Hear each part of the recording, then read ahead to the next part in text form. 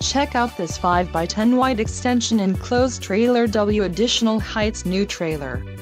If you are looking for a reliable trailer this may be the one. Quality construction is an important factor when considering a trailer purchase. Follow the link in the description below to learn more about this trailer's features.